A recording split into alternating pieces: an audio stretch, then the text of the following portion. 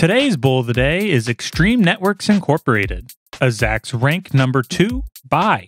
Extreme Networks has made two big acquisitions that will drive growth for 2017 and 2018. Earnings on the 3rd of May were better than expected as this stock heads to double digits. Today's bear of the day is Synchronoss Technologies, a Zacks rank number 5 strong sell.